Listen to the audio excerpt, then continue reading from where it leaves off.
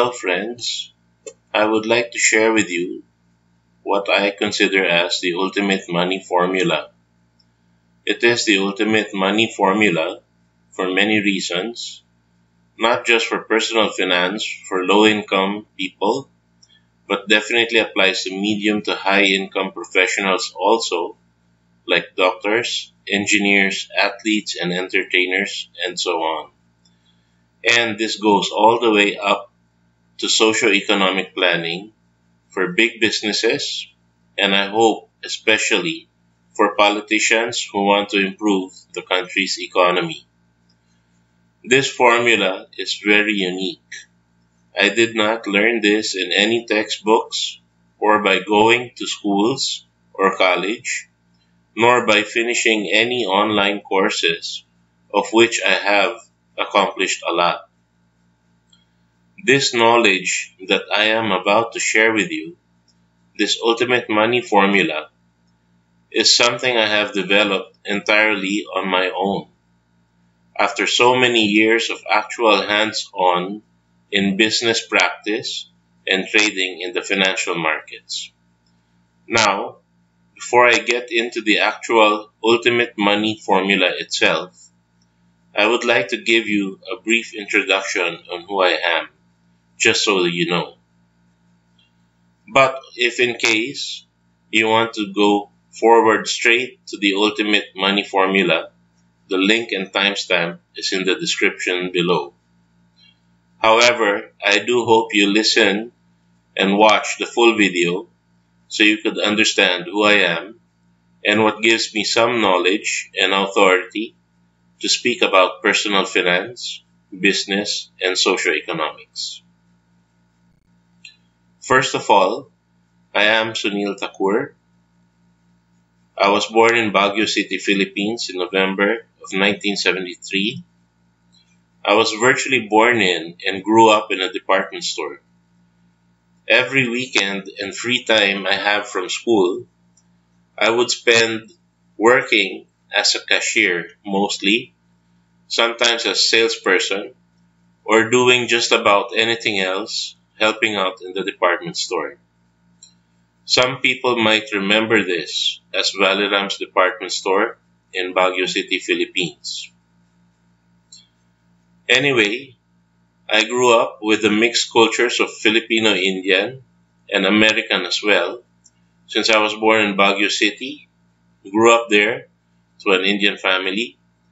And also at the time when the US influence in the Philippines was still very strong, particularly for us since we were very near to Camp John Hay I first studied in St. Louis University in Baguio City, where I learned a lot of moral values. Then moved to Manila and studied high school in LaSalle Green Hills. Then finally, I finished my Bachelor of Science, specializing in business management from San Beda University in 1995. All this time, I have been very much exposed with business since all family members, even remote family members, are all into business, one way or another. From as small as agriculture to as big as import and export manufacturing companies. I have relatives who have been into business and I'm in constant contact with them. I myself am exposed to a lot of business activities as well.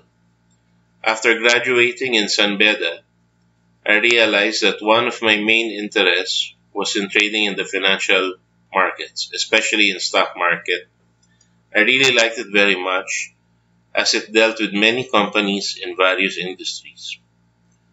But one thing I noticed, everything we learned in school did not apply in the stock market. It hardly applied at all, since what we learned in school showed us that generally, on a quarterly basis, the stocks should have a steady price, but that's not the case not just for stocks, but almost all financial assets or commodities as well. Prices always fluctuate up and down. constantly, even inside the day. Interested in what causes this up and down movement, I studied further. In 1997, as the Asian financial crisis hit, it got me only even more interested in the financial markets.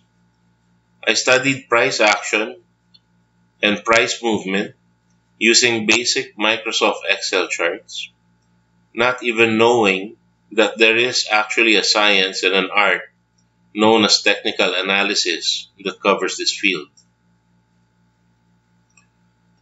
However, I have learned so much since the 97 Asian crisis up until today.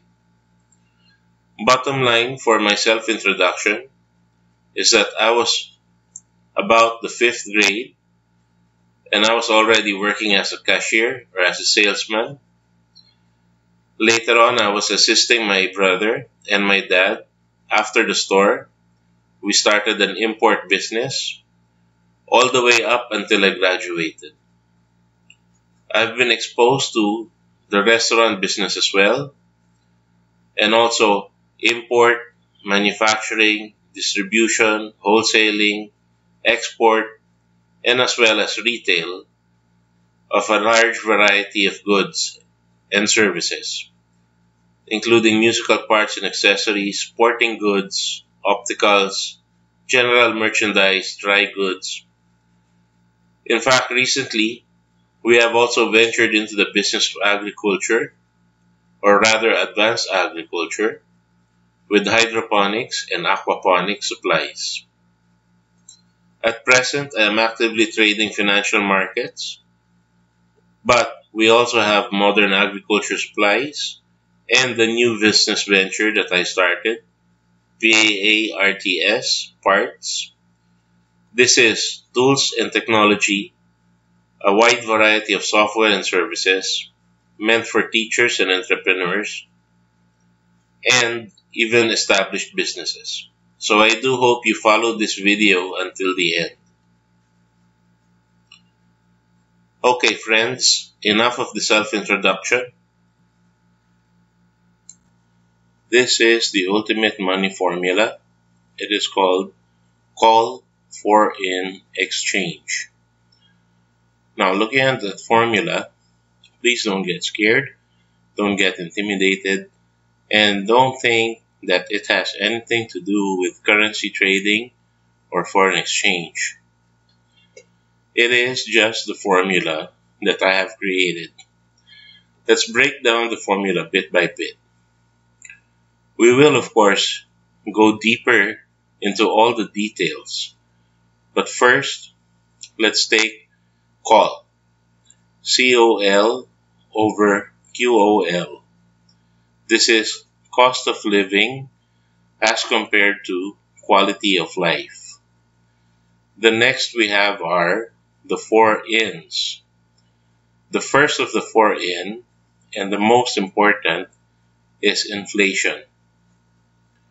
The second in is investment. The third in is income. The fourth in is interest. And then we move into EX. The E stands for emotions, mainly greed and fear. The X is expectations. And putting all of these together, we end up having change. The old formula only had change because I was looking only at changes in prices on a day-to-day -day basis, which is technical analysis. However, notice here, I added the delta in this new formula after the word change, which means changes in the prices creates changes in the formula, which in turn makes changes in the prices. Very dynamic, as you can see. This takes into consideration changes in equation as well. So the ultimate money formula for investment, finance, socio-economic planning, and everything else is foreign exchange. Before it gets more confusing than it should be, let's start with the first part of the formula, called COL over QOL, cost of living over quality of life. I want to point out that there is macroeconomics and there is microeconomics, or what we can call socioeconomics. I do use macroeconomics in trading since this is important in the field of trading in financial markets, especially stocks or shares, certain commodities, and definitely foreign exchange. But this is only important for international investors and active traders, including day traders. Many economists, planners, politicians, and businessmen make a very big mistake of simply looking at what we call macroeconomics. They always focus on GDP, GDP growth rate, per capita GDP, unemployment rate, and inflation rate. I can't blame them for looking at these. These measures are very important too, but they focus far too much on macroeconomics. To a degree, they give false hopes, especially to the working class and to low income people, by saying that our high GDP will eventually trickle down the social ladder and benefit the masses. My dear friends, this will never happen. Believe me, it will never happen. A top-down approach to economics will never benefit lower social classes and thus will never generate true and proper economic growth. I would like to emphasize the use of microeconomics, or better yet, socioeconomics, and even modern businessmen approach methods, where social responsibility takes high precedence. Instead of the top to bottom approach used by politicians and business planners, we should use a bottom up approach in the socioeconomics. Anyway, going back to the formula cost of living over quality of life. It cannot be measured by many of these measures that economists are making use of today. We need a lot more statistics in order to measure these things. We need to know the median income per capita. We need to know the median income per individual, median cost of housing, both for rental or for ownership. We need to know the cost of doing business, of course, which also ties up with cost of living.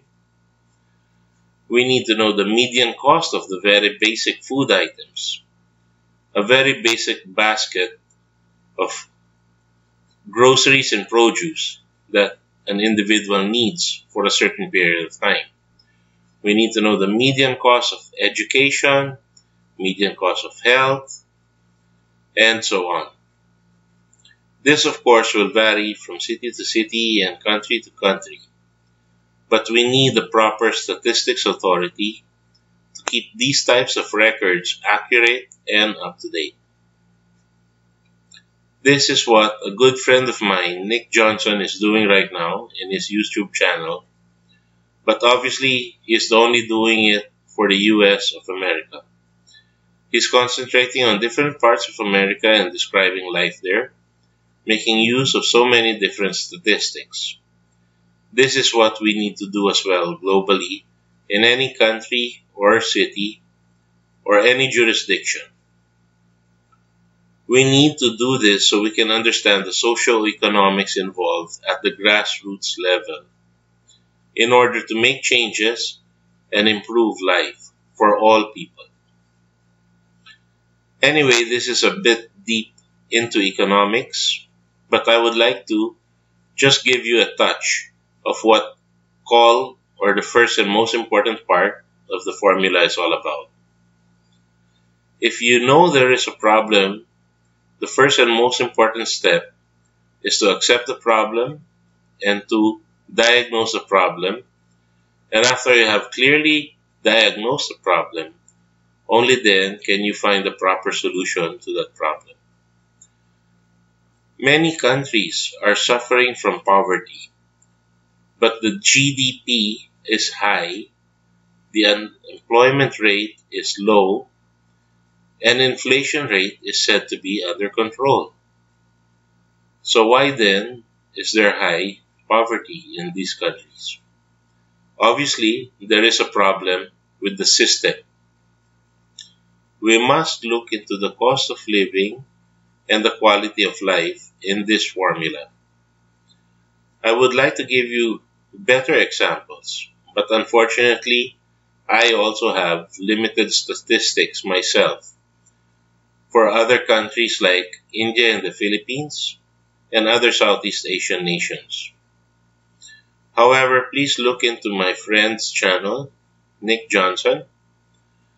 The link is also in the description below and above. And listen and understand how he describes all the different statistics that he uses to measure both the cost of living and, very importantly, the quality of life. This all form part to the cost of living and quality of life portion of the equation. This is the basic foundation, not just for the ultimate money formula, but wherever socioeconomics is concerned. And we all should look at this carefully for our individual needs.